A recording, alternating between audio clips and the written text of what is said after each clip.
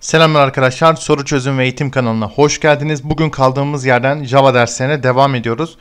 Öncelikle arkadaşlar bizim yine bir ana nokta Java ismini verdiğimiz bir klasımız ve game nokta Java ismiyle oluşturduğumuz bir klasımız bulunmakta.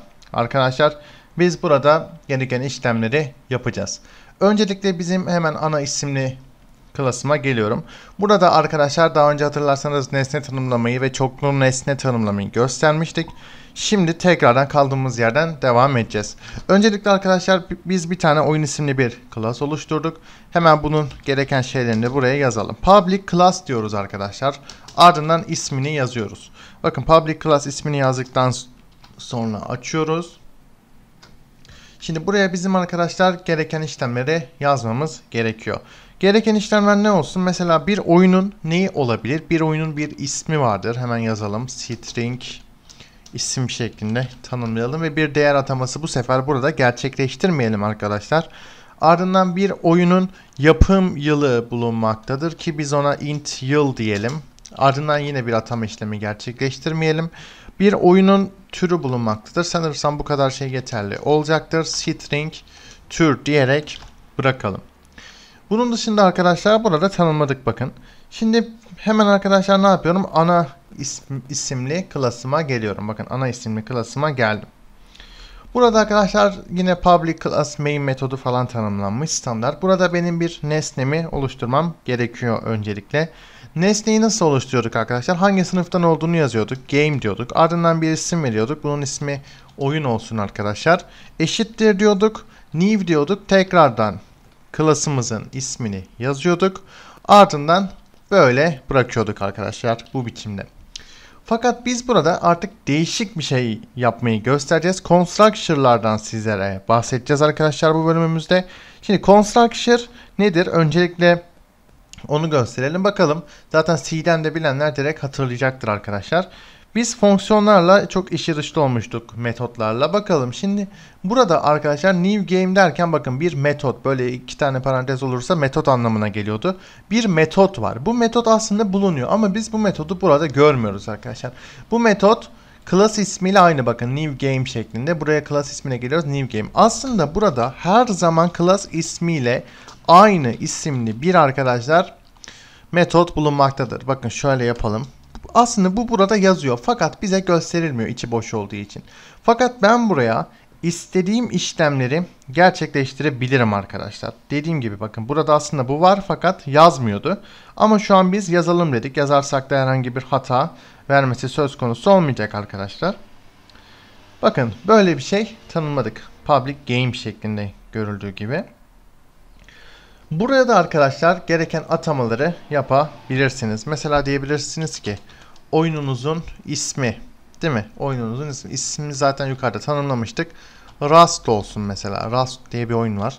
Ondan sonra oyunumuzun arkadaşlar ismi dedik. Oyunumuzun yapım yılı 2016 2014 olsun. 2014. Şöyle. Evet yanlış yazdık. Kusura bakmayın. 2014. Ondan sonra arkadaşlar oyunumuzun türü olsun. Türü de survival olsun. Hayatta kalma oyunu olduğu için. Hemen şuraya survival şeklinde yazalım. Şimdi bakın buraya hemen noktalı virgülümüzü de koyduktan sonra gözüktüğü gibi işlemleri gerçekleştirdik. Ne oluyor burada? Bakın bu metoda giriyor. Hemen burada bakın bakıyor.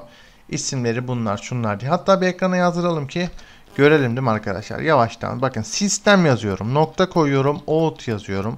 Daha sonra nokta koyuyorum. Kendisi çıkıyor zaten println diye. Oluşturduğum nesne neydi? Oyundu. Oyun nokta isim. Sizce böyle yazınca çıkacak mı arkadaşlar? Bakalım. Yoksa null bir değer mi döndürecek? Hemen bakıyoruz. Evet öncelikle bir hata verdi. Şunu bir düzeltelim. Evet ne diyor? İki tane n koymuşuz. Tamam. Şunu düzeltelim. Şimdi bir bakalım. Bakalım. Evet tekrardan buraya geliyoruz arkadaşlar. Burada parantezi de kapayalım. Bakın bu tarz hatalar çok önemlidir. Hani direkt kod yanlış demeyin bir parantezden bile kaynaklanabilir. Bakın direkt Rust'ı ekrana yazdı. Burada herhangi bir bilgi var mı? Yok. Burada herhangi bir bilgi var mı? Yok. Bakın direkt diyorum ki burada git benim metodumu yaz buraya. Metoda geliyor hemen.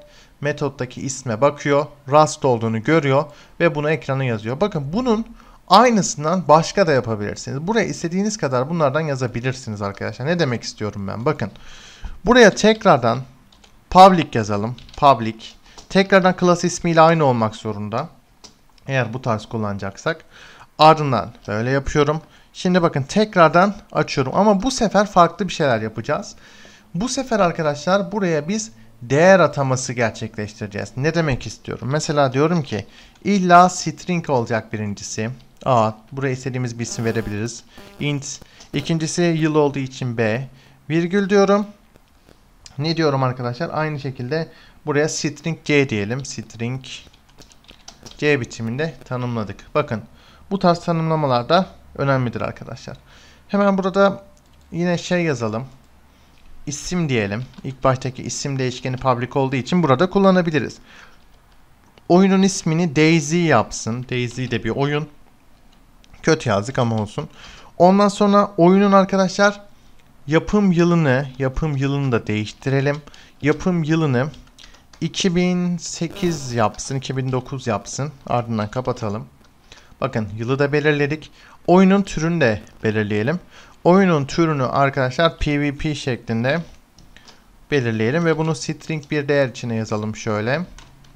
Diğer tarafına da evet. Şimdi arkadaşlar bakın bu sefer değer yolladık gözüktüğü gibi. Ben bunu peki burada nasıl çağıracağım? Burası önemlidir. Burası biraz karıştırılır arkadaşlar.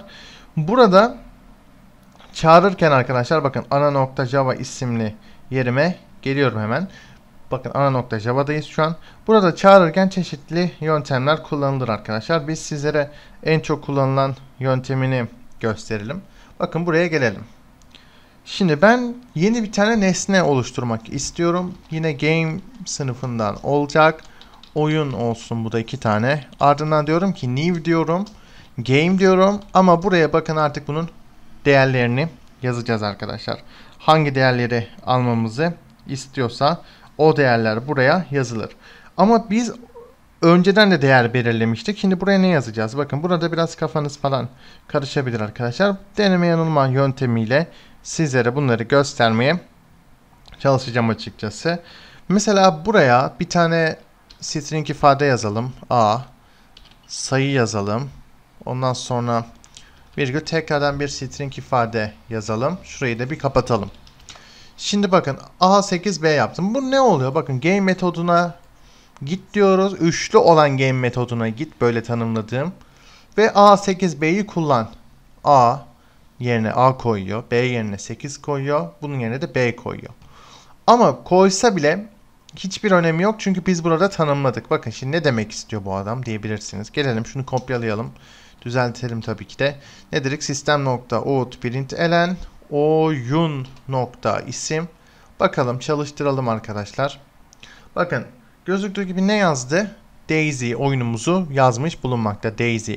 Ama burada bunu böyle yapmayabilirdiniz. Diyebilirdiniz ki benim ismim yerine Daisy yazmasında benim yolladığım oyunu yazsın. Biz burada mantıklı bir oyun ismi yollayalım. Mesela A yerine ne olsun arkadaşlar oyun ismi yerine? A'la başlayan oyun ismi de aklıma gelmiyor şu an. Evet neyse herhangi bir isim verelim. Mesela arkadaşlar oyunumuzun ismi Miscreated olsun. Miscreated. Oyunumuzun ismini Miscreated olarak yolladık ya. Burada diyorum ki benim isim değişkenim A'ya eşit olsun. Bakın şimdi burayı sizlere biraz detaylı anlatacağız.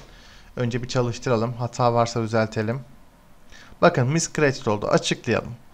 Şimdi bu tarz yollamalarda arkadaşlar diyorum ki bakın new game'e bak new game metodunun içine git.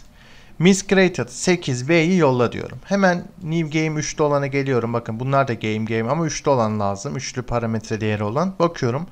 A yerine ilk yolladığımı miscreated yolluyor. B yerine 8'i yolluyor. Şuradaki C yerine de 3. olan B'yi yolluyor. Tamam. Şimdi ilk başta miscreated'ı yolladık. Dedik bu artık aslında miscreated. Diyorum ki isim eşittir A. Yani A neydi? Miscreated. İsim eşittir miscreated şeklinde tanımlama işlemlerini yaptık. Bunun aynı şekilde ikilisini de yapabilirsiniz. Teklisini de yapabilirsiniz. Yani kullanıcı illa 3 tane yollamayabilir.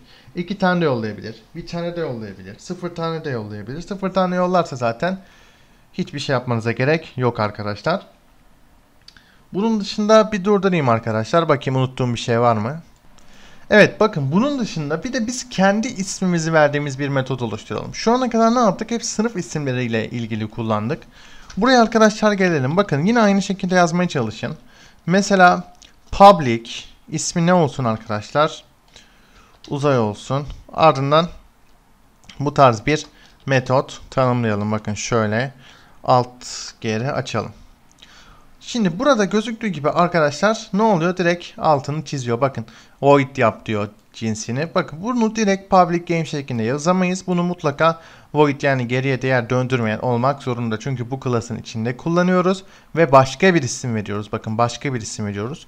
Bunun amacı da ne olsun? Bu ekrana ekrana ne yazdırsın? System.out.print elen ekrana da merhaba yazdırsın. Bakın bu da ekrana merhaba yazdırıyor arkadaşlar.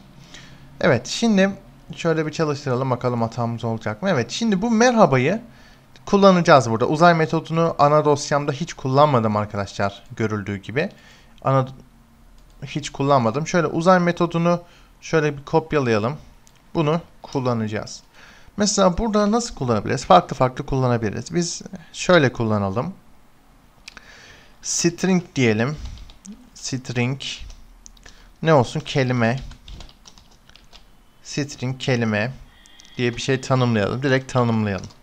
Ardından arkadaşlar diyelim ki benim kelimem benim kelimem. Bakın sizce bu biçimde olacak mı? Şöyle yapalım. Kelimem uzay metoduna gitsin ama bunun için bir nesne kullanalım arkadaşlar. Ya da şöyle de yapabiliriz. Bakın Sizce bu şekilde olacak mı? Kelime nokta uzay. Bakın direkt bizi uyarıyor arkadaşlar görüldüğü gibi. Buna bastığımız an böyle saçma sapan şeyler çıkıyor. Şu an bizim kullanmayacağımız. O yüzden biz bunu bu biçimde yollamayalım. Burada nasıl yolluyorduk? Bakın oyun nokta isim şeklinde. Biz tekrardan burada nesneleri kullanmak zorundayız. Bakın nesne olarak mesela oyundan devam edelim. Oyun oluşturmuştuk değil mi? Oyun nokta yazıyorum. Şimdi bakın burada benim oluşturduğum uzay metodu çıkmak zorunda. Evet bakın çıktı. Görüldüğü gibi uzay metodum çıktı. Bunu ekrana yazılmak istersek arkadaşlar nasıl yazacağız? Hemen yazalım. System.out.print elen diyorum. Ardından parantezi açıyorum ama buraya kesinlikle tırnak koymayın arkadaşlar. Hata verir. Çünkü değişkenler tırnak koyulmaz. Oyun nokta diyorum. Bakın burada tekrardan uzay çıktı arkadaşlar. Void bir değer olduğu söyleniyor. Evet bu niye şuraya geldi? Şu git bakayım sen. Evet bakın şimdiki hatamızı da göreceksiniz arkadaşlar. Hatamızda ne diyor bakın. Burada gözüktüğü gibi boolean bir ifade olduğu falan filan söylenmiş. Şuradan uzayı açtık. Şöyle gelelim.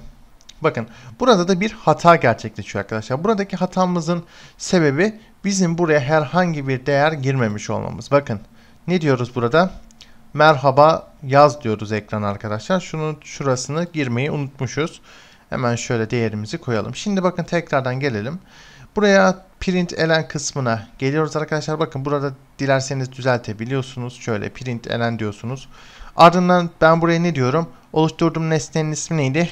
Oyundu arkadaşlar. Oyun nokta diyorum. Ardından şuraya tekrardan uzayı seçiyorum. Burada tekrardan bu bir metod olduğu için açmaya gerek yok. Evet şimdi bir çalıştıralım arkadaşlar. Bakalım. Evet görüldüğü gibi merhabayı ekrana yazdırdı bakın burada. Burada tekrardan oyun nokta uzaya gitti. Ardından merhaba ekrana yazıldı. Bakın game.java'ya geliyoruz. Merhabayı ekrana yazdı görüldüğü gibi. Evet bu biçimdeydi arkadaşlar. Bugün sizlere construction'ları gösterdik. Daha sonraki videolarımızda kaldığımız yerden devam edeceğiz diyoruz. Şimdilik bu kadar. Kendinize iyi bakın. Hoşçakalın.